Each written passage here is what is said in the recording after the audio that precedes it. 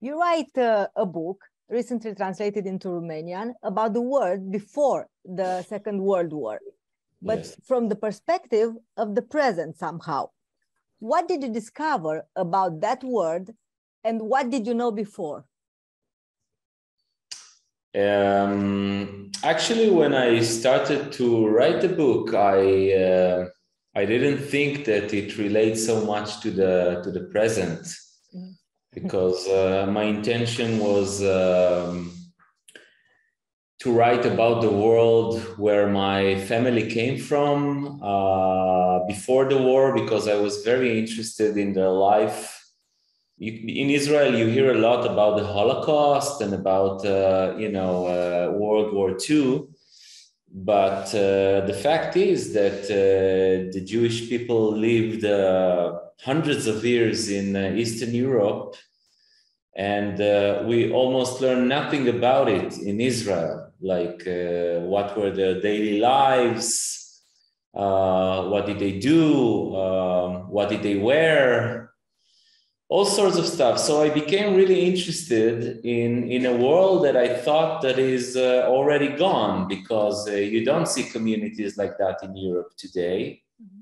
There are no shtetls. Um, so uh, this was my my my initial intention, but when I started to do more and more research, and uh, when I wrote the book, I realized that there are uh, you know a lot of uh, themes and subjects and issues that are relevant today. You can start even from the first uh, premise of the book, which is uh, you know uh, uh, Fanny Keismann, who is going to uh, to find the lost husband of her sister who left her aguna. We say in Hebrew aguna, and and I don't know the right word in English, but it's probably chained woman or something like that. Like she, so this problem exists today as well mm-hmm. in Judaism. Uh, when a husband leaves his wife, uh, she cannot get a divorce mm-hmm. unless he's uh, unless he agrees. Uh, and also, when I started to do more research about um, the Jewish community mm-hmm. and the relationship between uh, the Jewish community and the locals. So I found a lot of uh, things that are still relevant for mm-hmm. today. Uh, it's true that today, for example, in Israel, we are the majority and we have a minority living within us. Mm-hmm. They could be the Orthodox Jews, that could be Arabs, that could be but uh, you know a lot of the things that we experienced as a minority back then in the 19th century and uh, you know we had a lot of uh, criticism and a lot of uh, complaints against the local regime. So we now have see the same only now we are the the majority. The majority yeah. So um, and the secret police you know you hear about uh, the Okhrana or the the KGB and you know my, my parents came from Romania so we heard a lot about uh, the Securitate and all of the methods which are also operated today in Israel only this time with uh, with our secret forces so, you know, like a lot of the things you see back then are still relevant today. And, uh, you know, even my experience as a soldier, you know, I wrote about the Crimean War and mm-hmm. about the. So you see that the experience of a soldier in the 19th century are not so different than a soldier in the yeah 20 or 21st century. They still think about the same things. They still have the same difficulties so I was actually surprised to see that the world is not that different. Mm-hmm. And when I went to, you know, the story takes place uh, in Belarus. So when I went to Belarus to visit those places, I saw that they are not even different in terms of the geographical scenario and the way that I imagined it to be. in the 19th century. Like I, I, I was in uh, Belarus in 2014, I think, or something like that. And I Lukashenko, saw Lukashenko was there. Lukashenko yes, was there. yes, he was now- still there. He was still there. And uh, you know, you see, first of all, you see that the people are not very enthusiastic to speak about, you know, uh, about the government and about Lukashenko, and you see that uh, they're still doing laundry in the river, and uh, there's no electricity in many of the houses, and you know toilets are in the yard. So you see the shtetl with no Jews, but you still see how they lived. So um, so a lot of the things are still relevant today. What about the social the social memory there in Belarus, for example, the legacy of those Jewish communities? Uh, Yes. do they exist in the social memory there? It's actually very interesting because uh, when I went there and I started to talk with the locals, and they heard that I'm a writer and that I'm coming from Israel, so they immediately started to speak about uh, what happened in the Holocaust. Because uh, you know, I, I I talked with some uh, old ladies. You know, they were over ninety, so they remember uh, Their what neighbors. happened Yes, so they started to speak with me about what happened and uh, how they took the Jews from the houses, and they were very afraid. And uh, and and I listened to that, and I told them, okay, what happened before that? How how were the? And it took a lot of time until they realized that I'm not really interested in hearing about the Holocaust, but I'm asking about uh, the life before that because nobody asked them before Mhm. about uh, their Jewish neighbors. So they started telling me really interesting stories about, for example, in one place, they told me how uh, the rabbi was considered a, a very smart person. So, uh, uh, and, and the local priest, they, he was a bit drunk and a bit so uh, anytime they needed an advice or something, they used to go to the rabbi, even even if they were Christians. Mhm.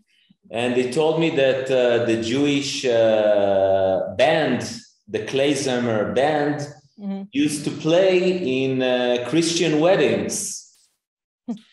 so anyway, they started to to to tell me about all sorts of you know i don't think there was such a big love between the jews and the and the locals but there was also not uh, as we in israel imagine it to be or as we learn you know the jewish people were all day long sitting in their houses and waiting for uh, for someone to to uh, you know to to burn their house or uh, or attack them it wasn't like that at all. There were normal relationship. Mhm. Uh, they did a lot of things together. Obviously, they didn't marry each other, or there wasn't, uh, you know, uh, Mhm. Mhm. Mhm.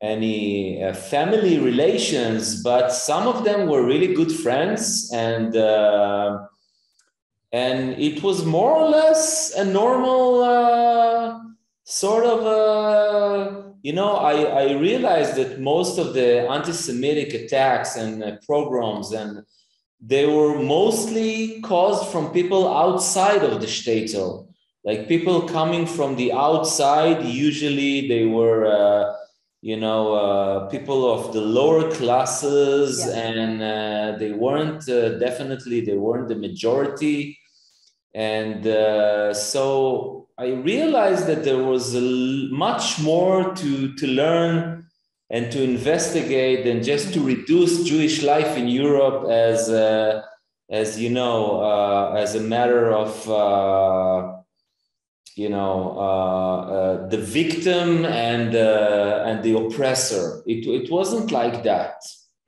Yeah, because you say uh, you told the victim and the, the oppressor. You are using in this book uh, some Yiddish words. Yes. Uh, and I would like to, to talk about this a little bit. Of course, you have a PhD in Wittgenstein, so language is very important for you. But yeah. my question is uh, Yiddish was for a long time a language that people want to forget. It was seen like a language of victims, even in Israel. What's yes. the situation now? Yes, yes. Unfortunately, when all the Jews came from Europe to Israel, mm-hmm. then uh, first of all, uh, they were asked to forget their uh, history, their legacy, you know. Uh, uh, they, they weren't allowed to speak Yiddish. You know, there was even, uh, if you would speak Yiddish in Tel Aviv in the 50s, they would fine you. There, will, there would be a police mm-hmm. officer that can uh, give you a ticket for speaking Yiddish on the street. Because they wanted to create the new Israeli. The new Israeli is not a victim is someone strong and he's uh, you know he's not to be taken to the slaughterhouse again mm-hmm. he would fight he would uh, so this was the kind of uh, ethos that uh, was here in israel uh, but as you probably know it's very hard to forget your uh, it's not healthy psychological healthy exactly exactly. Especially if you grew up you know in these places even even if you were in the holocaust.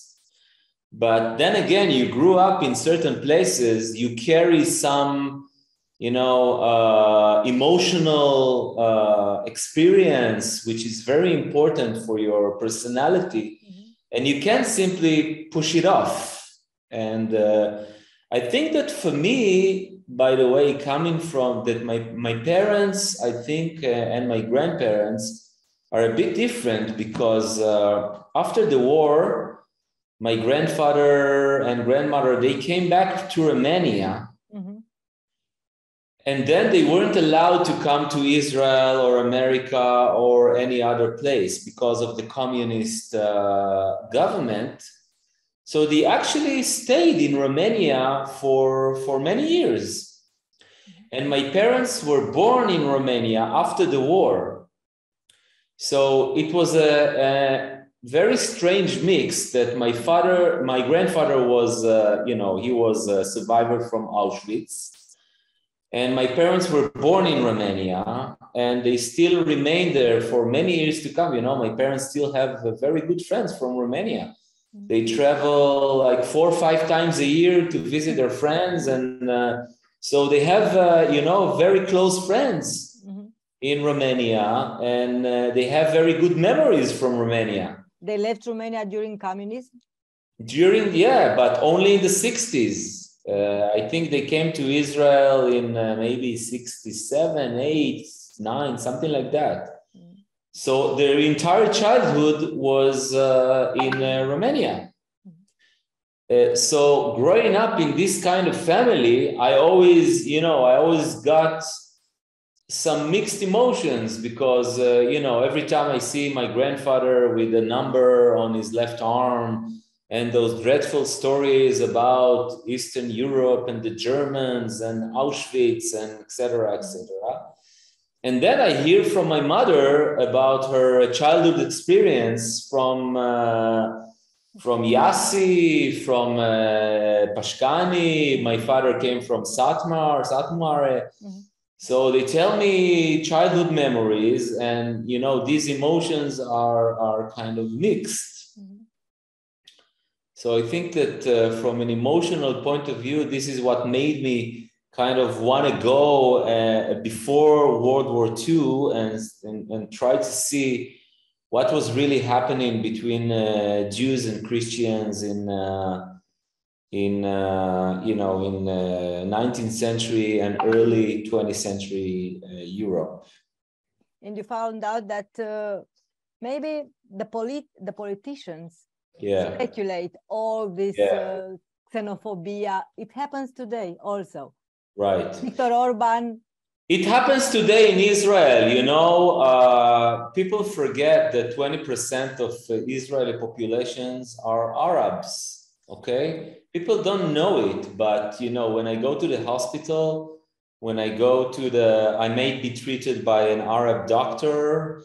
and when I go to I don't know a restaurant, it might be owned by an Arab uh, owner, and uh, so our life are intertwined. We are we are working with one another. I have good friends who are Arabic, you know. So from a political point of view, there seems to be a lot of uh, uh, you know interest from many sides to depict it as if uh, we're enemies. It is easier to speculate people's fear.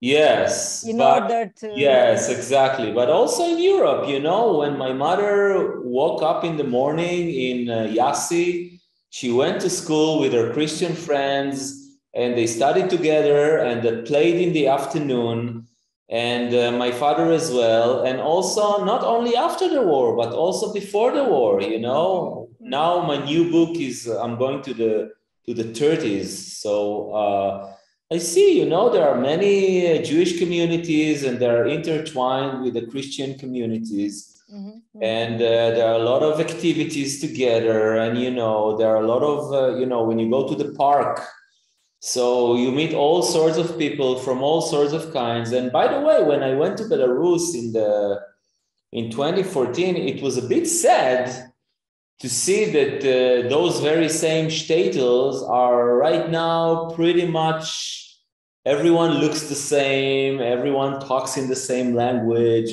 I don't know. For me, I like the variety. I like to live in a place where you see all sorts of people from all sorts of colors and all sorts of languages. And I think that uh, it's more interesting to live in a place like that than, you know, um, so I think everyone lost from World War II, uh, both yeah. Christians and uh, Jews.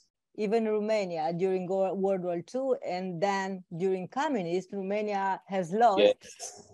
its minorities yes jewish minorities german minorities yes. and it's pity uh, you mentioned you have mentioned this cleavage between uh, jews and arabs in israel yes what about the cleavage between uh, ashkenazi sephardi and mizrahi yes yes. Is still there? Oh it's still there definitely because um, what i talked about the jewish people that came from europe and they were uh, they were you know they were asked to forget their history. Mm-hmm. so people from uh, who came to israel from north africa uh, were also asked to forget their legacy you know people who grew up in morocco in iraq in iran in libya in yemen so they were asked to kind of take off all those uh, customs and traditions and to become really Israeli. And the second pro- problem is that most of them came after the Ashkenazim, after the so you know everything was already organized or a bit organized. So they were basically um, you know they got uh, less than people who were already here and already you know a bit more uh, let's say, uh, you know, had some money, had some uh, assets, and uh, and and I have to say that uh, even though it happened, uh, I don't know, 50, 60, 70 years ago, you can still see the tension. You can still see the tension between Jewish who came from uh, East Europe and Jews who came from, uh, and it's actually only, even though a lot of time have, have passed, it's actually getting worse and worse with time. Because there are many issues that are not, you know, every time you try to uh, push away and, or I don't know, swipe it under the rug, you are, poison, you are poisoning something else. Exactly. Freud, Freud, Freud said that. Exactly, okay. exactly, exactly. So, uh, so yeah, we have a lot of conflicts.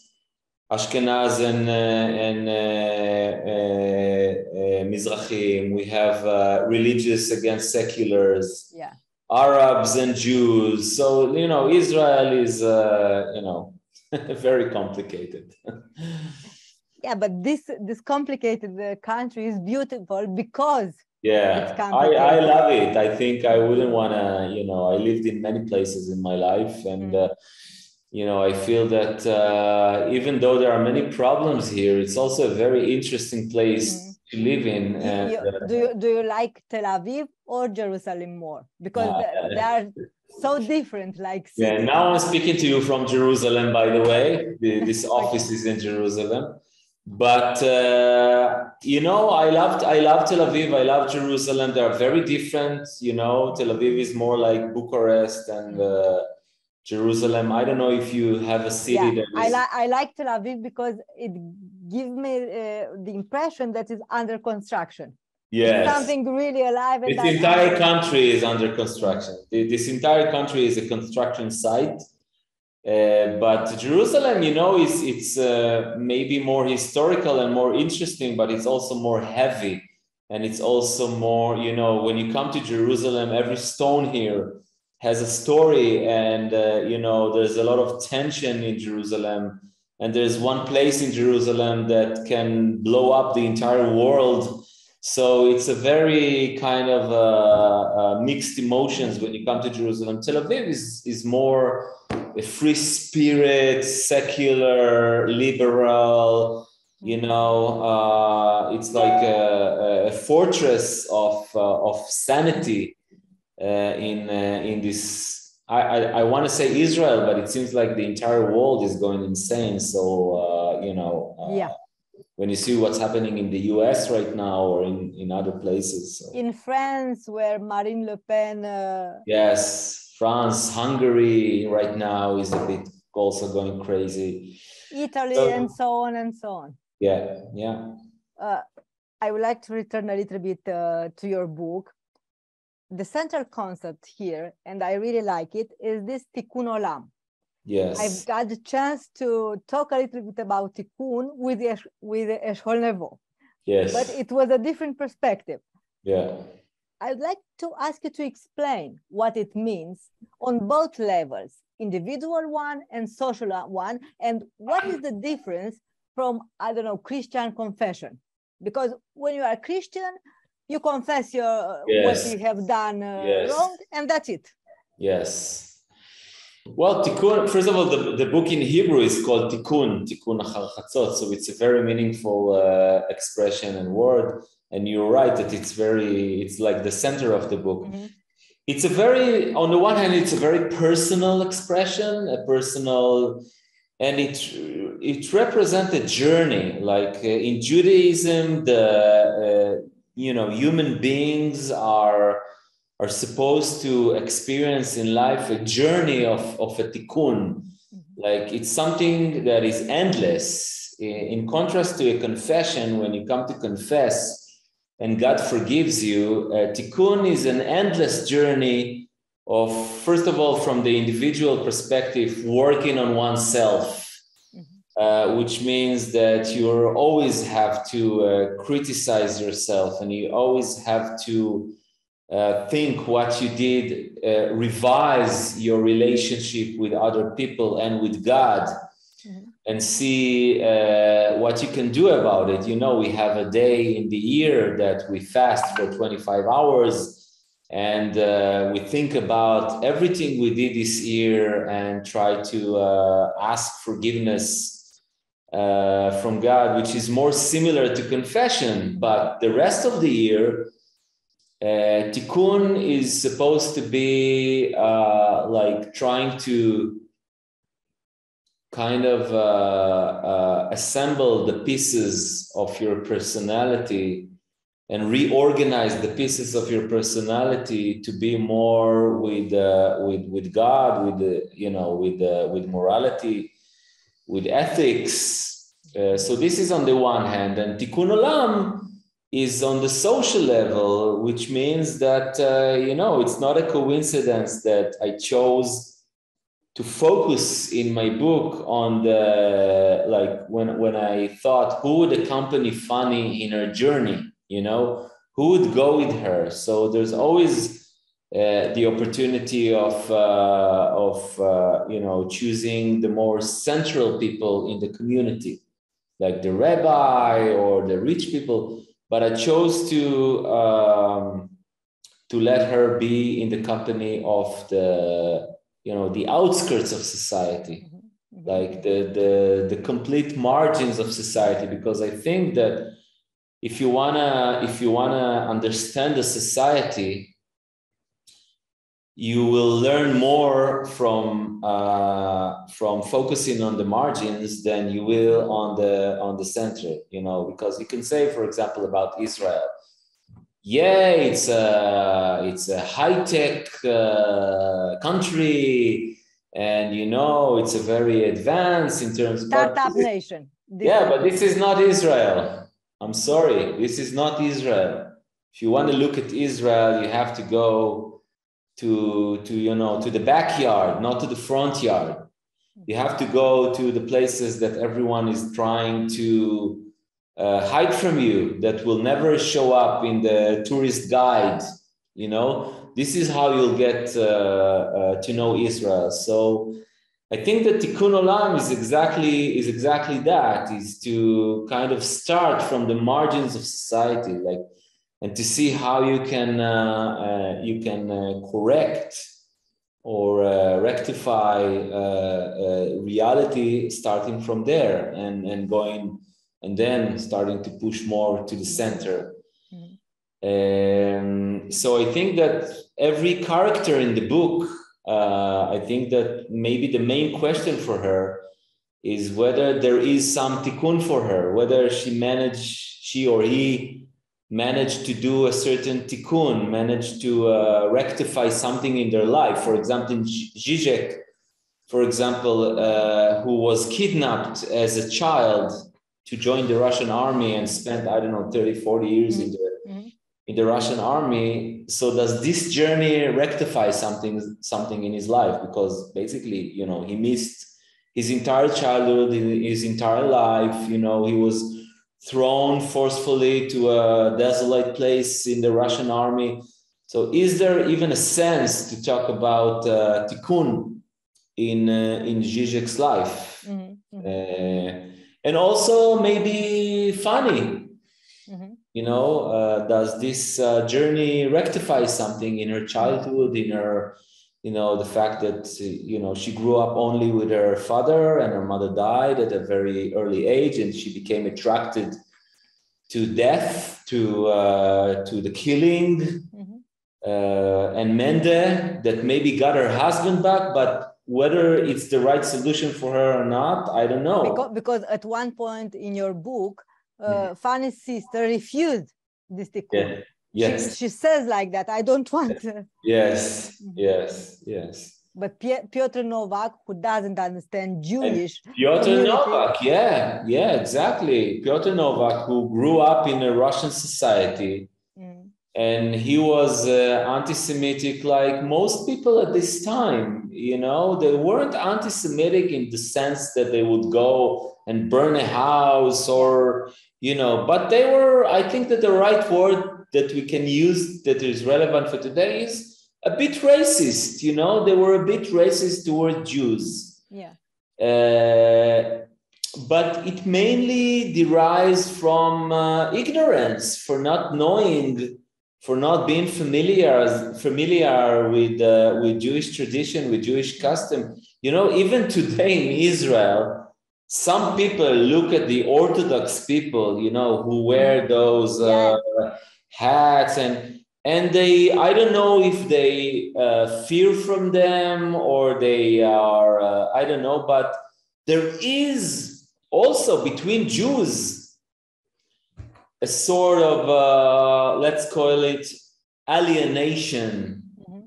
you know between different sectors so uh, you know it's it's very easy to grow up in a in a russian society and see all these weird people who you don't know, who speak in a different language, who wear uh, bizarre costumes, and uh, and you know they don't have the liberal ideas that we have today.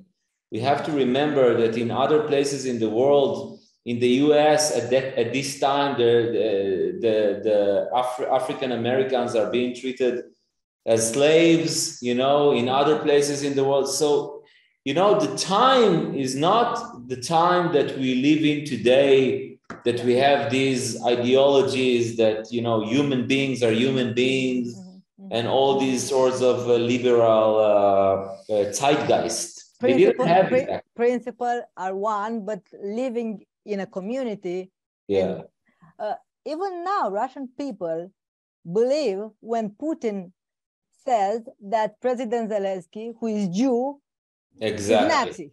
Exactly, exactly.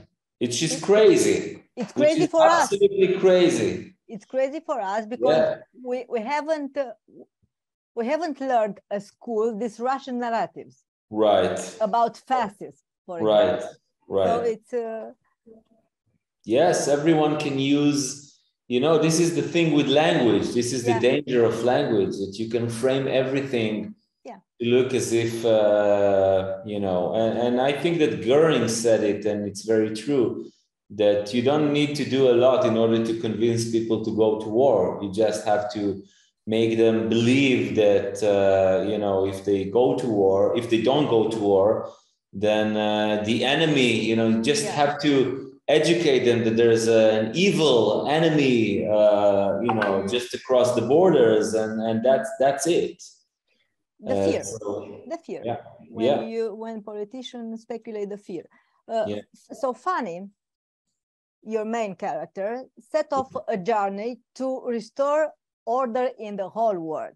Yes, because the balance of existence you told was broken when her sister wa- was left by her husband.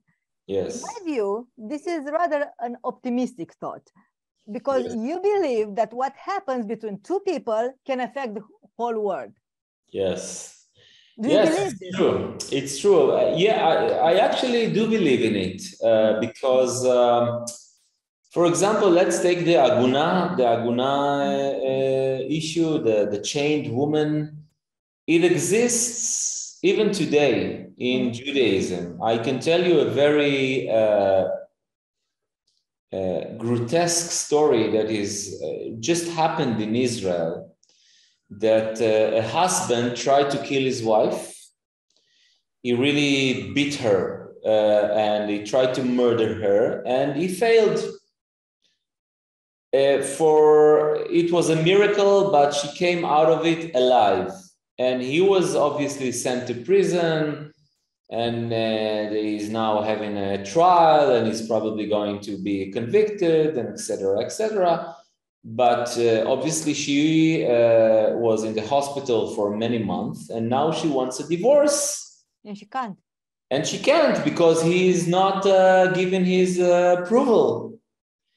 So they had to uh, you know and so so it's it, it became absurd. You know what i mean? Yeah of course. And I think that until uh, uh, some woman or women will gather together, it can be even in one individual uh, case. It can be even in this case, Mhm. and uh, and raise their voice. Then then it can change because, as I said in the book, it will not come from the men because uh, it was very convenient for the men you know, because Jewish men in the end of the 19th century could just go anywhere they wished. Uh, and, uh, you know, some of them even got remarried without giving a divorce to their previous wives. So the world was opening for Jewish men, and they started to go to the US, to Odessa, to Bucharest, to they became secular, they became liberal, they went to Palestine, and the women just stayed in uh, the villages. With the children, very poor mostly.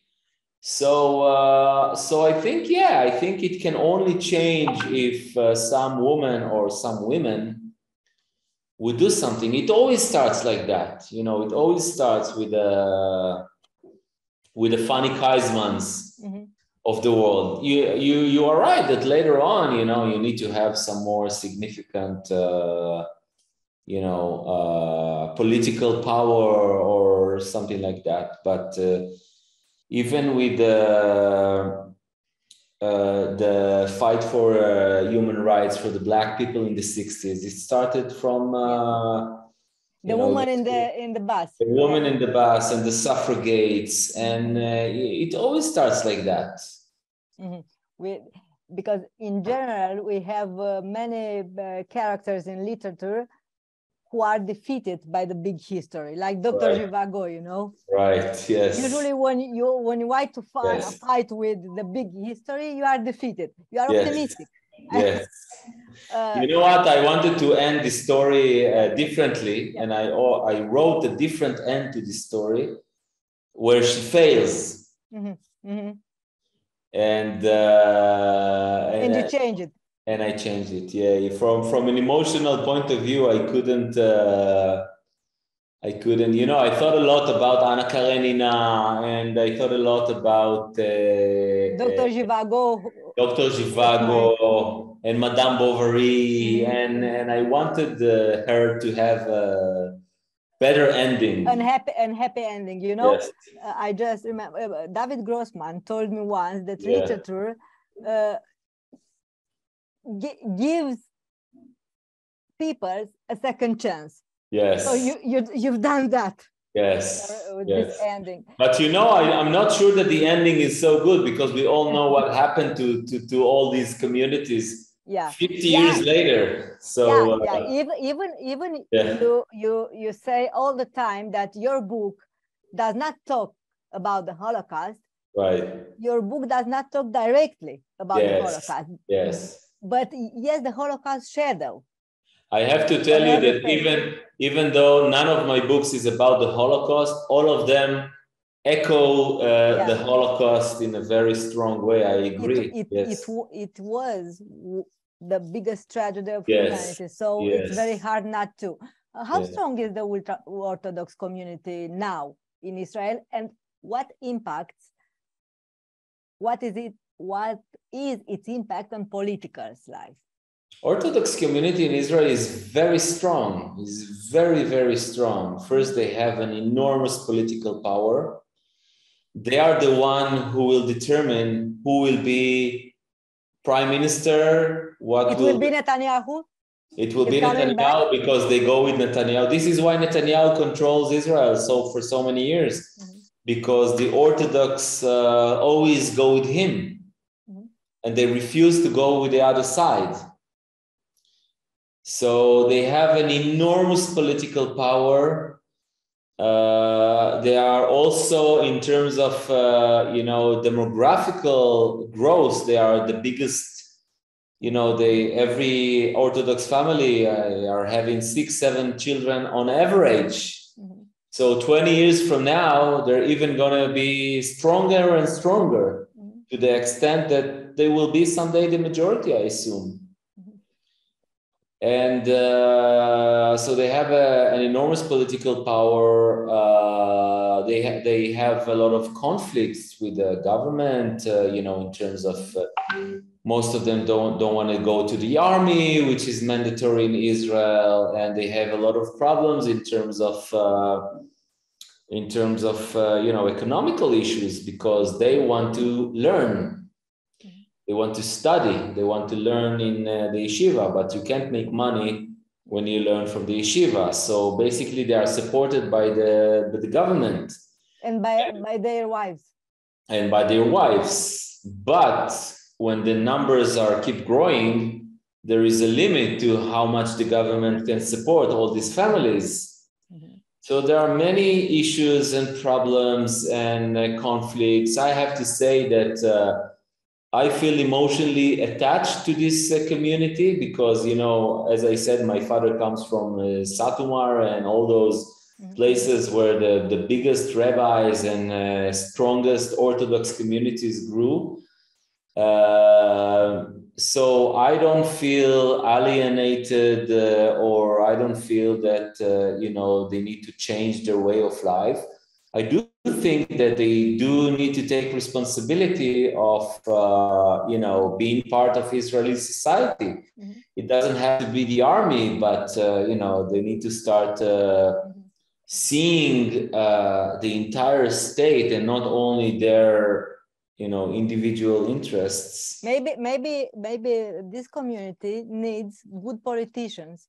Yeah, exactly. community. Exactly. It's the same in Romania yeah there, there are uh, politicians who prefer to mm-hmm. exactly this is the number one problem because uh, you know the politicians they think that they need to care only for the interest of their sector yeah. but they're not looking at the bigger picture which is uh, you know you always have to be in some kind of a compromise or uh, so right now, this is what Israel is. Is uh, you know, and even the president of Israel said it that it's uh, it's more of a mixture of tribes than uh, than a real state.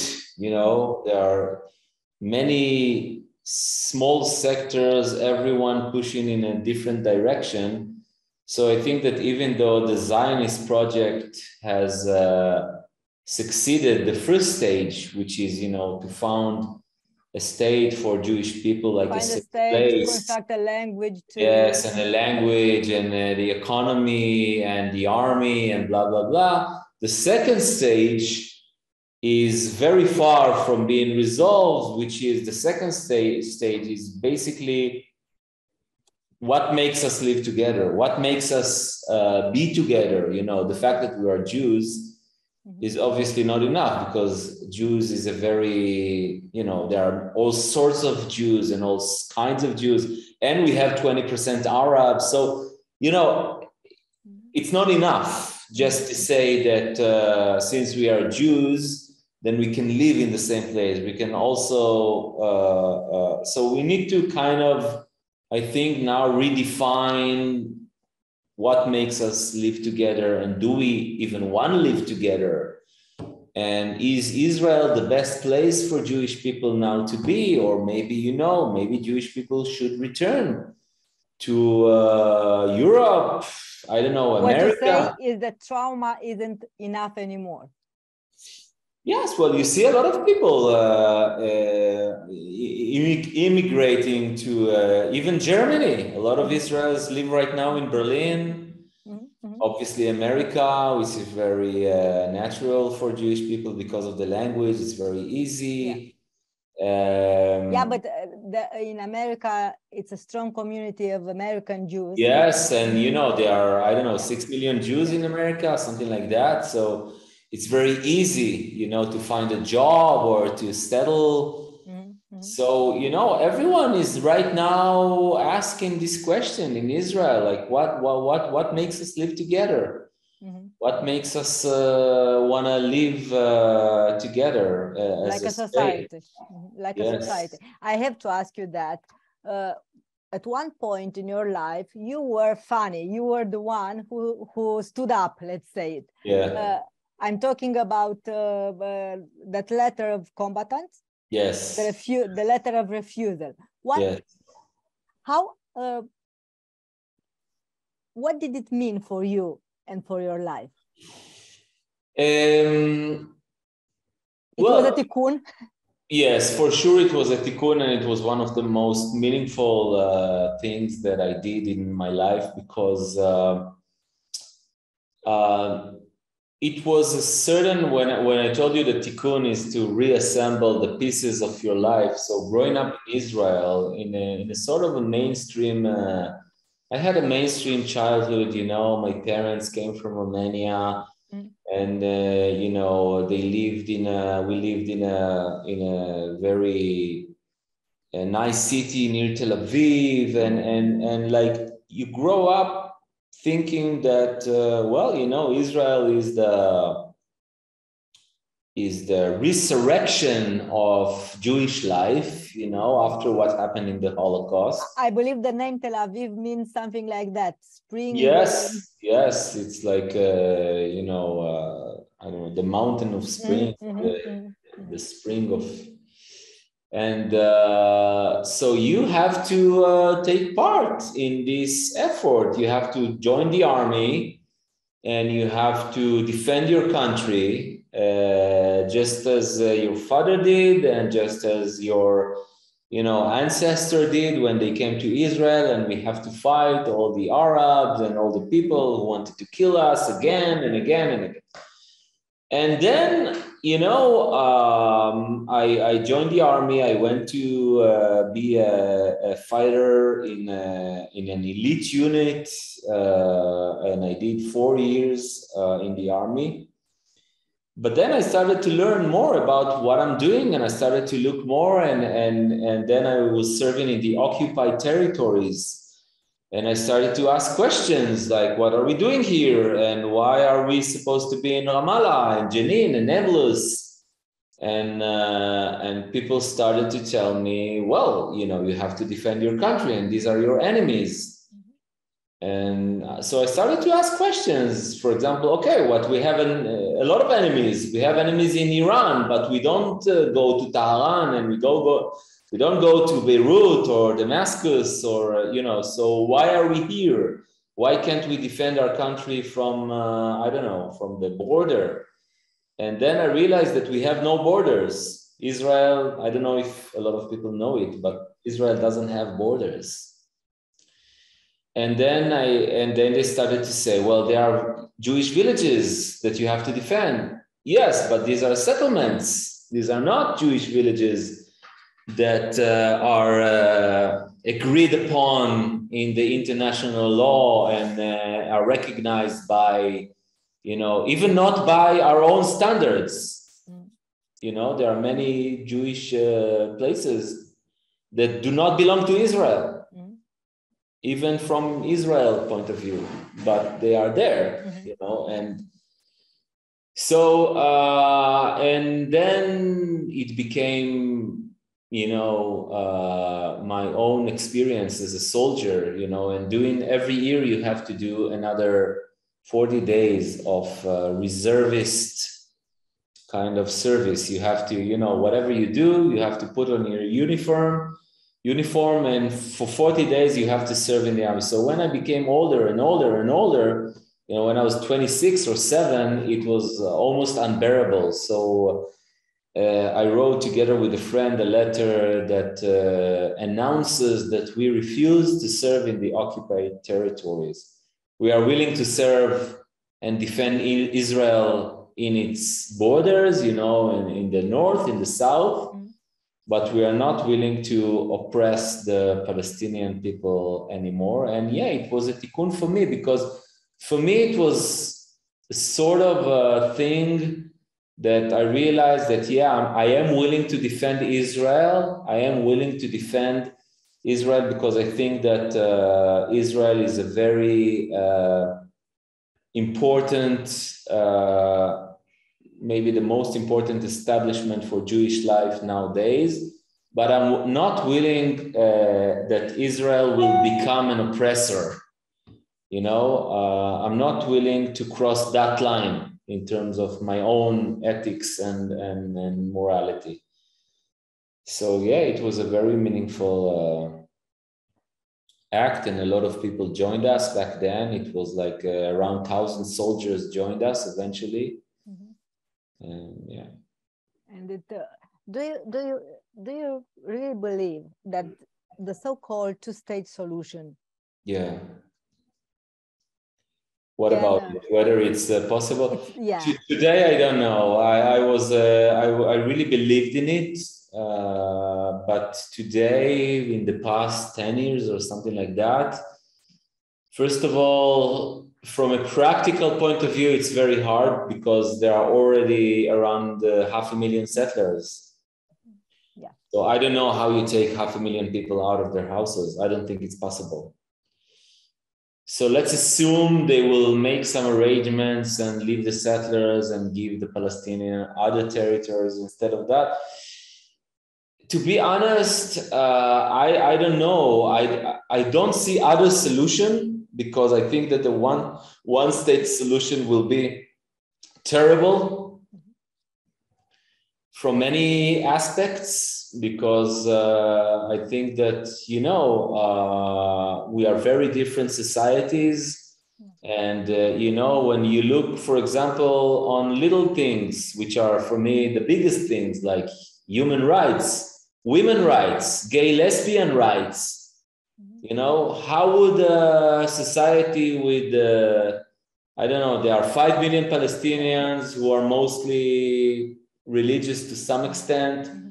And then you add the religious Jews. Mm-hmm. So, what kind of state would you have that most of them don't believe in uh, yeah. gay, lesbian rights, or that uh, women can have uh, uh, equal equal rights? So, what would this society look like? So, I think that the one-state solution is is not uh, something I would like to uh, to see. A two-state solution seems reasonable, but it would have to be, I think, uh, creative in some sense, like uh, in terms of practical issues, like the territories themselves. Jerusalem would probably have to be like an international. Yeah. District, I think that uh, they should allow Palestinians maybe to live in Israel if they wish, and vice versa. I don't know, they could vote for the Palestinian state, but maybe live in Israeli territories or something like that. I think that some creative, crazy solution would would have to be. But right now, nobody wants it. I think nobody in Israel is interested in it, especially not the government, uh, not this government, and and of course not Netanyahu's government. But this government had his chance. It was the government without yes. Netanyahu. It was the government with Arab. But Netanyahu doesn't want it. He doesn't want it. He doesn't want to return territories. He doesn't believe. He thinks that if there will be a Palestinian state, it will be like the Hamas in Gaza, and he doesn't want it. So uh, for him, if you ask me or the right, the right doesn't know what they want. They know what they don't want. They don't want a Palestinian state but they don't want they don't know what they, they do want. Uh, so what what's happening is that it's just that the situation is just continuing you know? We are uh, occupying the territories. We are oppressing an entire uh, you know people four or five million people. And uh, the situation just continues. And by the way it can also continue for many years to come. Mm it's like a status quo. Yes. Like and the world, the world seems to be okay with it. You know, we don't hear like uh, a lot of resistance from uh, from Europe, from the US, or from whatever. So uh, so it can it can also continue for many years to come. And that's the the worst solution this status yes. quo, never ending uh, status It's the worst solution because meanwhile the settlers will be 2 million people and, yeah, uh, and the Hamas will become more and, and the Hamas will be more and more in power and everyone will be more extreme. Yeah. Will get more extreme and there will be more and more terror attacks. Yeah. And uh, and uh, we will keep bleeding and bleed each other uh, until some something will happen maybe maybe when generation change because i look uh, to my daughter she's 18 and her generation is very different from mine. Yes yes.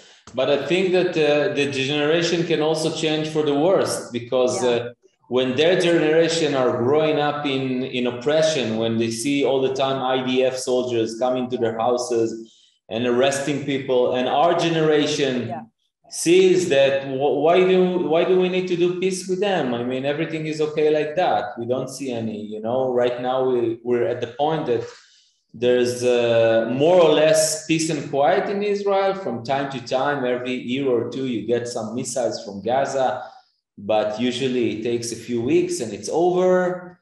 So you know um, it can also go uh, to the to the to the more pessimistic side. Yeah, you are more pessimistic in real life than in your literature. so uh, it's my last question. Have you ever been in Romania? Of course, I've been many times in Romania. Actually, before the corona, mm. I uh, did with my mother a trip to where she was born and where she lived, and we met for all her friends. Mm and it was amazing. When I wrote my second book, I was three months in Romania. Where, where I took a I took a house in a village called uh, it was near uh, Brasov, I think Pushteni or something like that. It's a very and, busy village. yes, and I was three months writing the book in Romania, and I've been to Romania like five, six times. I love it. I hope you will come uh, to Romania uh, for your yeah, book. Sure, I would love to. I would love to because to. you know, uh, I, I, understand from uh, from the editor that that is a very well received book. Yeah, I hope so. I heard uh, a lot of people are reading it, and uh, yeah. my, my my mother friends are buying uh, copies for everyone so okay thank you very much it, it was you. really a joy it took an hour but it was uh, thank you was thank you magda thank, thank you. you i enjoyed it. Thank you. Bye bye